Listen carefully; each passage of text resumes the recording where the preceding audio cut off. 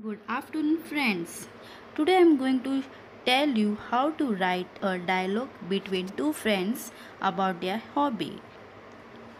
Hello, Jamal. Good morning. What are you doing in this early morning?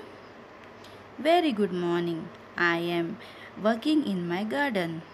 Oh, what a beautiful garden it is. Who helps you in your work? I myself have done this. It is my hobby. I think it is not only a flower garden. You're right. There are two parts in my garden. In one part I have planted flowers and in other part I have cultivated vegetables.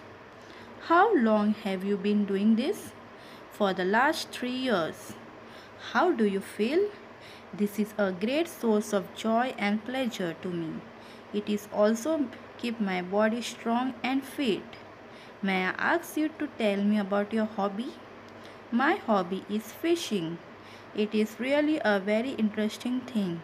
Of course, I get much pleasure from it. Make us patience.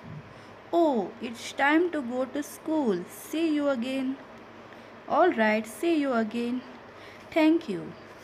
Subscribe Shri Sai Nirmal Krupa and press the bell icon to see the latest video at first. Please like, share, subscribe and comment. Thank you. Bye bye. Good afternoon.